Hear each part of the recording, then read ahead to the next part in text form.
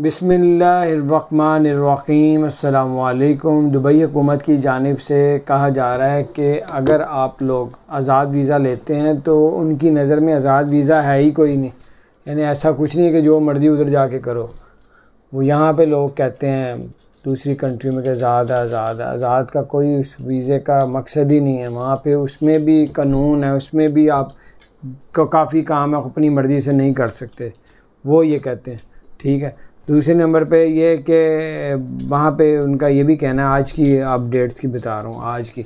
वो कह रहे हैं कि दूसरी अपडेट डेट ये है कि जो लोग इलीगल जिनके वीज़े एक्सपायर हो गए होते हैं, जिनके टूरिस्ट वीज़े होते हैं, वो लोग वहाँ पे जॉब नहीं कर सकते, करते हैं, पकड़े जाएँगे बैन हो जाएगा, फलाना हो जाएगा, पता नहीं क्या क्या हो जाएगा। सब कुछ उन लोगों के लिए जॉब जो वर्क वीज़ा जिनके पास है, जिनके पास कंपनी वीज़ा है। वो लोग सब कुछ वहाँ पे कर सकते हैं।